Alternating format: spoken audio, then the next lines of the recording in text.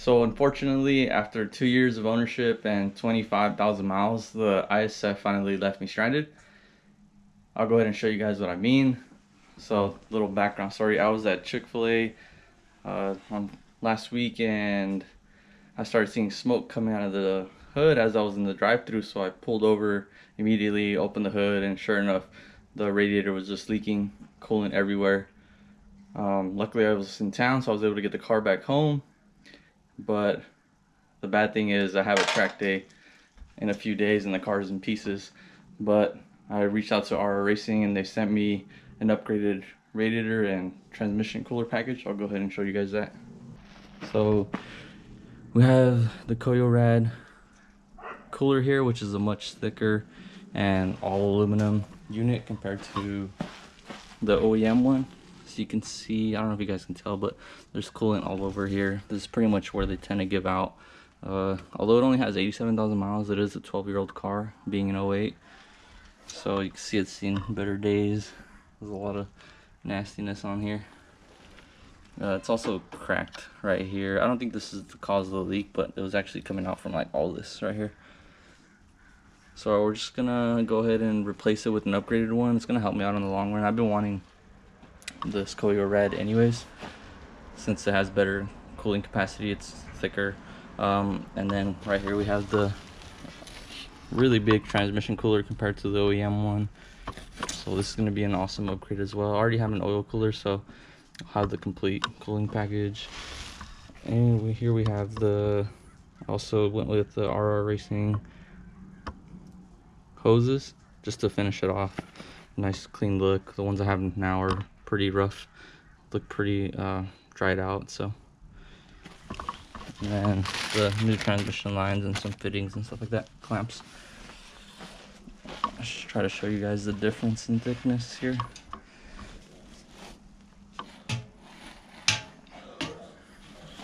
I don't know if you guys can tell how how much of a difference that is.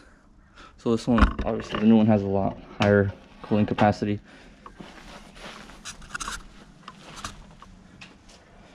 Uh, the install should be pretty straightforward. You guys can see here where all the coolant just like was pouring out. All right, let's go ahead and get this installed.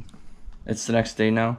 I got everything in, the radiator and the oil, the transcooler here, all bolted in, um, everything tightened down.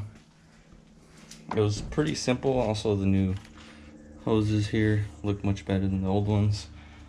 Um, I already turned the car on and topped off the coolant, so it should be good. Everything should be ready to go back on and drop the car back down. But really straightforward. Um, it's a little hard to get it back in just because it is thicker. I got a little beat up doing that, but it's all in there. I used uh, this foam tape here. I got a Home Depot. For the back, uh, I don't know if you can see it back here. It's behind the, the transcooler here just so it's not metal to metal onto this bracket here since there's nowhere to bolt it down on this end. And then I got the two bolts holding it down right here. The lines, RR Racing supplies you with the lines to route to the transcooler back there. Gotta clean up my oil cooler, but yeah, hopefully you guys can see. I know it's terrible lighting, but it's all in. Uh, we just gotta hope everything's correct now. Make sure I didn't miss anything. But it's been sitting overnight. There's no leaks, so that should be good. Good sign. Go ahead and get everything back on the car, the bumper, drop the car down, and then take it for a drive and make sure everything checks out. So I pulled the car out of the garage and I'm gonna leave it running with the cap off just to keep checking the coolant temps. I mean the coolant levels to make sure it doesn't need any more fluid. And also just keep checking for leaks. So for the most part, the install was super easy to be honest, just really straightforward. Uh, I mean, it's a little hard getting the radiator out because there's these uh, these harnesses right here for the fans and whatnot. So you have to like kind of wiggle around that. Also, the new radiator being so thick compared to the factory one, it pushes it back more. So you lose even more space. So it was a little hard, and I did it by myself too. So there was that, but it's really straightforward. Just unplug everything, replug it back where it went. Um, the transmission cooler was straightforward, but it did give me a little bit of an issue, just being that you had to top it off as high as you could and then plug it in. Like it was kind of hard keeping it full without it spilling out. I did spill quite a bit on myself when I was under the car, but luckily I bought a quart. You only need a 0.4 quarts, I believe it is, to add. So luckily I had extra. But yeah, just pretty much topping it off and getting it plugged in without it spilling was, was a little tricky. But other than that, it was it was really easy. Uh, let's go ahead and start it up and then make sure nothing is leaking or make sure it doesn't go back down on the coolant level. Uh, you guys probably can't tell, but it's right at the full mark right now.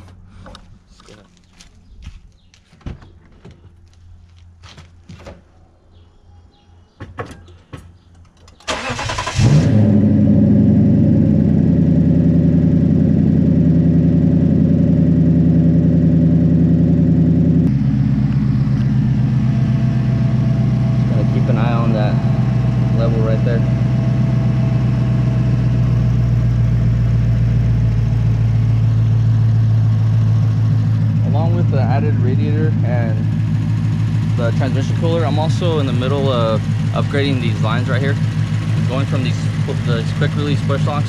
They tend to leak a lot. I have a lot of issues with the leaking. As you can tell, just sitting right here, it's kind of like pinching it in right here. So you kind of press it in and when you press it in, it releases the hose. But if the hose isn't completely straight, it's gonna put a little tension on one side and, and create a leak, which is pretty annoying. I have a lot of issues with that. Uh, constant check engine lights and the car starts to run rich you'll, uh, you'll start to get a backfire. So I ordered uh, all new AN fittings instead. This is gonna ensure there's no leaks. I'm just waiting for one more fitting that I forgot for this one. That should be here today, so I'll be replacing all these with, with these lines right here, with these uh, braided lines. And then I gotta work on this one. I gotta get, I bought some oil to like help get this in all the way. So I just put it on right now so I can turn the car on. But I'm gonna, I might do a video for that if you guys are curious to see that, or I can get you the part numbers that I used. Not to mention it'll look a lot better with those braided lines too. And I just have this off right now. I'm gonna put this back on a little bit and then I gotta go to the hardware store or AutoZone and get uh, plastic clips for these covers. I have an issue always breaking those, it's pretty annoying. So yeah, uh, let's take another look. Yeah, it seems to be holding at full, so that's good. I'll go ahead and get the cap on and then we'll go and head to the store.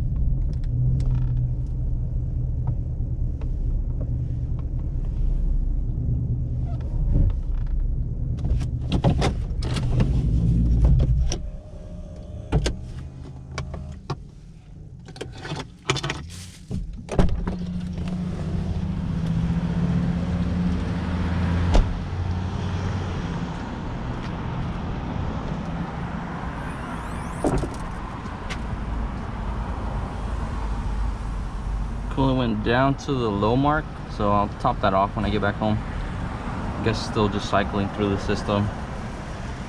But all right guys it's gonna be it for the video. Nothing's leaking so yeah thanks for watching. If you guys have any questions you know feel free to go ask away in the comment section and I'll get back to you.